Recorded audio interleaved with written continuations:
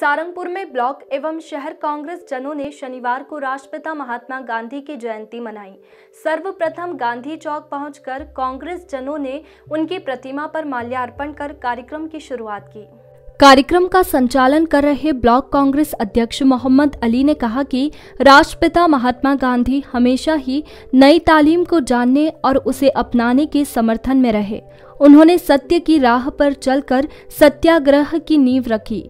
हमें महात्मा गांधी के बताए गए मार्ग पर चलकर अहिंसा का रास्ता अपनाना चाहिए। साथ ही लाल बहादुर शास्त्री की जयंती के चलते अली ने उनके जीवन पर भी प्रकाश डाला। इस दौरान नंद किशोर पुष्पद, नितिन पुष्पद, सूरज वर्मा, सुरेश वर्मा राम बाबू पुष्पद, सीताराम पुष्पद आदि ने कांग्रेस की सदस्यता ली। सारंगपुर से मृदुभाषी के लिए प्रदीप जैन की रिपोर्ट।